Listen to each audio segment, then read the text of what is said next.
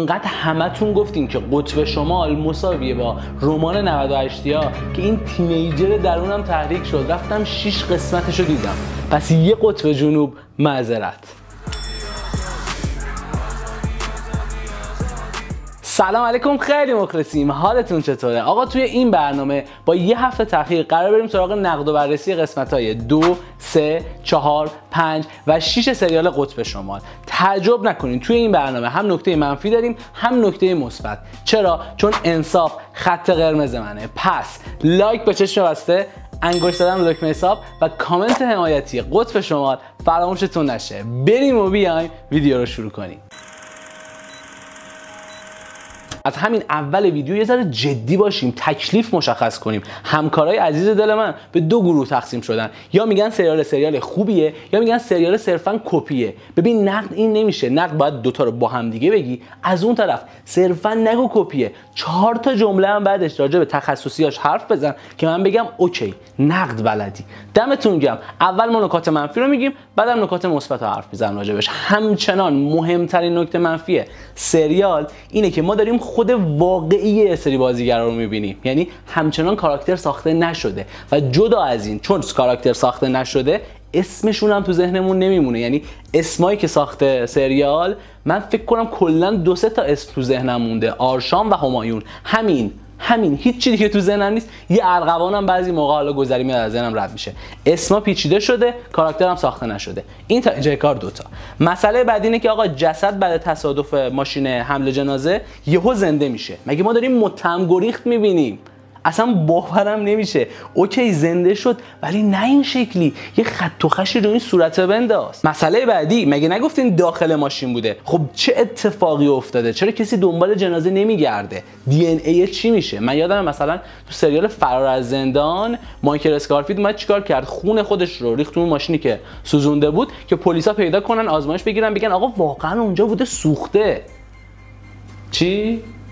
آها اون فرار از زندان بوده. راست میگه. بگذاریم عجیبه واقعا عجیبه. حتی این نکته منفی یه نکته عجیب بهتون بگم. آقا این طلای فراداییش که حتی اسمش هم تو ذهنم نمونده قضیهش چیه؟ چقدر زیاد بوده که این همه مال و ملال گذاشته از اون طرف چهار بار هم طرف عمل کرده شده فرزاد فرزین یه ذره عجیب نیست؟ ببین تو وقتی حجم طلا رو هنوز به ما نگفتی ما چجوری باید این ثروت رو باور کنیم؟ دقت بکنید سریال قطب شمال همه تکنیکای یه فیلم هندی رو داره. جز رقص و آواز. لوکیشناش چیکه پرزرق و برقه دیالوگای کلیشه‌ای که اصلا یا خدا یه عالمه داره. از اون طرف جلوه های ویژش انفجارهایی که به نشون میده افتضاحه. کات زدنش گاهی خیلی سریع میشه ریتمو تند می‌کنه. گاهی آروم آروم آروم. و هیچ کدوم منطق نداره. اما این 5 6 رو بذار کنار. می‌خوام خیلی اختصاصی راجع به تصویرها و نما حرف بزنم که اصلا وا ویلا. هر جوری دوست داشته دوربین رو چرخونده تصویر بردار. تصویرها گاهی خیلی شیکه استاندارده و گاهی واقعا عجیب و غریب و بی‌معنی میشه. این همه لانگ شات چی میگه؟ یا لانگ شات گرفتی که فضا رو نشون بدی و داری سیسته در واقع نماهای تیزری به من نشون میدی. از اون طرف نمای بسته می‌گیری این لرزه رو میندازی تو جونش و مثلا نمی‌فهمم منطقه چیه. چرا دوربینت باید بلرزه؟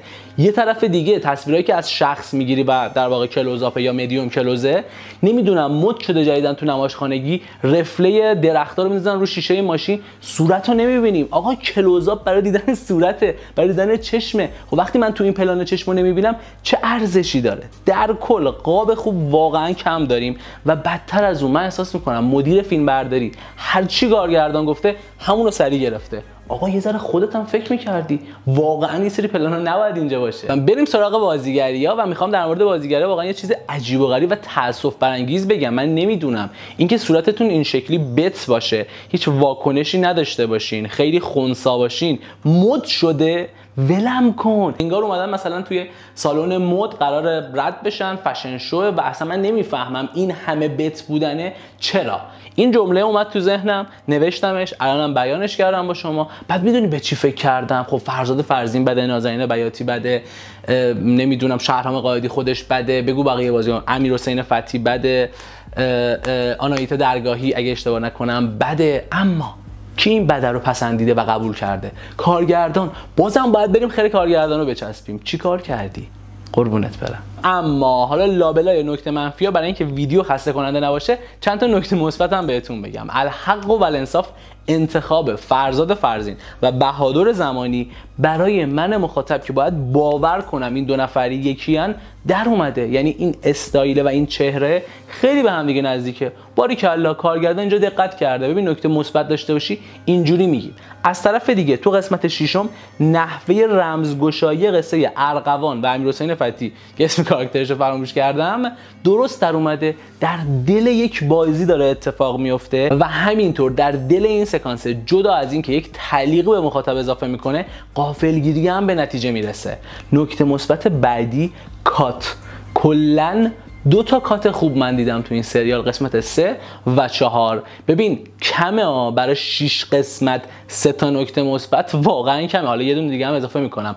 بازی شهروز دلفکار نقش فرهاد که واقعا تو بازیگر به نظر من بهترین بوده. اما برگردیم سراغ همون کاته. قسمت سه و چهار یه جایی فرهاد داره آرشامو لو میده. کات ما داریم توپ بولینگ رو می‌بینیم که اکثر موانع رو رد می‌کنه. آفرین. کات معناداره میگیم الان آرشام نابود میشه. چند دقیقه بعدی دوباره یه پلان می‌بینیم. الان فرهاد جلوی اون برادرزاده فراداییش ناامید میشه و من مخاطب امیدوار میشم. حالا کات چی داریم می‌بینیم؟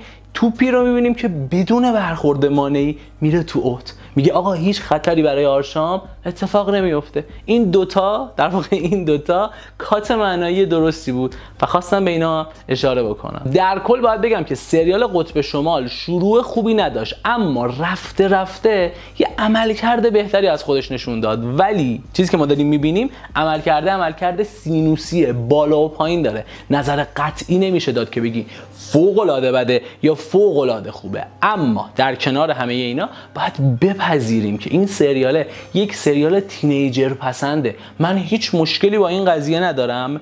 چون دلچسب ناپسند یا لذت گناه من اینه که این سریال رو ببینم. یه جورایی گیلتی پلژر هم شده. حالا می‌دونی چرا از این واژه استفاده کردم؟ یکی از نکات مثبت این سریال که در واقع نکته مثبت سو به حساب میاد نکته منفیشه اینه که هر لحظه انتظار یه چیز بدو داری و من دیگه تعجب نمی کنم در کل این پنج قسمت دو سه چهار پنج شیش که دیدم هر لحظه امکان داشت که در واقع یه چیز عجیب و غریب ببینم چه تو بازی چه تو صحنه چه تو دوربین چه تو صدا و و همه اینا. و دیگه تعجب نمی کردم یعنی پذیرفته بودم. این دنیای فانتزی عجیبی که ساخته رو بگم اوکی درست قصه رئاله ولی این یه فانتزی ساخته که اصلا قرارم نبوده ساخته بشه. یعنی ذهنیت احتمالا رئال بوده ولی فانتزی شده. ولش کن تو هم بپذیر. برو بریم. یه کوچولو با هم دیگه خندیدیم. الان یه مبحث مهم و جدی باهاتون دارم. در مورد سلیقه در سینما. درسته فیلم دیدن یا سریال دیدن سلیقه ایه یعنی سلیقه هر فردی جدا از اینکه محترمه اما ملاک این نیست که یک اثر رو خوب بدونیم یا بد بدونیم. چون احتمال داره که یک سریال یک فیلمی سلیقه من باشه. چرا؟ چون بازیگر محبوبم توشه چون حالم رو خوب می‌کنه چون صرفا منو میخندونه یا هر چیز دیگه ای اینو از همدیگه تفکیک بکنید. من مخلصتونم هستم. بگین قطب شمال سلیقمونه اما سریال خوبی نیست. این تمام حرف من تو دل این ویدیو بود. اینجای ویدیو طبق روال همه ویدیومون می‌خوایم یه پیش بینی بکنیم از آینده سریال. می‌دونم کار خیلی مسخره ایه اما در حد یک جمله تا اینجای کار دختره داشته تلاش می‌کرده نازنین بیاتی که پسر آرشام عاشقش بشه احتمالا از اینجا به بعد باید قضیه کاملا برعکس بشه. یعنی دختر سرد بشه و آرشام بره سراغش. و اما حرف آخر پتروس. اگر این سریال قطب شمال از تلویزیون پخش می‌شد صرفا من یک نفر هیچ مشکلی باهاش نداشتم. چون سریال لولش در حد نمایش خانگی نیست. اما برای تلویزیون چیز بدی نبوده. اما از من به شما نصیحت 6 قسمت از قطب شمال رو من دیدم. شماها نبید